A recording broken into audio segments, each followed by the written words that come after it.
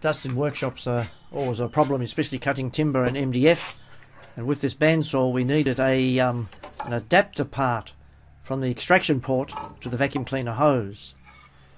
And so in this particular case with the calipers, we measure the external diameter of the extraction port, which is 59.13 millimeters.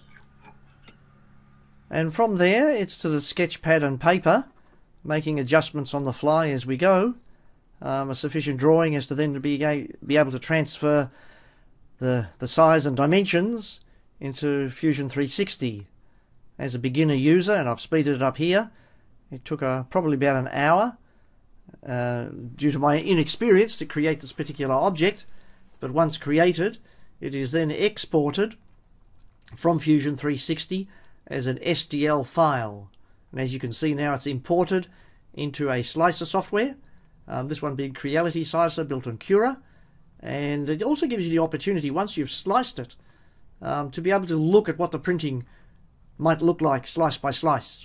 And this one will take about 6 hours and 7 minutes to print. And now we're in the office here.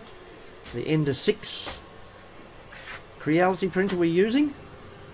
With uh, the nozzle temperature 220, the hot bed at 53 degrees, and the room preheated. This is printing a raft for one of our earlier prints that failed. We had a problem with build plate adhesion, where the object being printed midstream would shift on the plate. And we soon discovered that what we needed to do was to clean the build plate with acetone. And um, this is a speeded up view, about 400 times normal speed, over six or so hours of the adapter part being printed in PLA.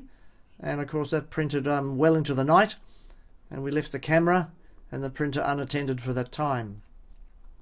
The room was also heated up with a small blow heater to overcome the problem of it getting too cold at night. We're here in the winter at the moment and build plate adhesion was a problem. Not all our prints were successful, um, but you learn as you go. Um, as you can see, the first half of these prints worked okay before it became dislodged on the build plate. But thankfully with the third attempt and some gaining of understanding of what we need to do, it worked okay. So back in the workshop, it's just fitting the adapter nozzle to the external port and the vacuum cleaner hose, turning on the dust extractor, and a test run. So we turn on the bandsaw, and no dust. All the dust is being removed and job successfully done.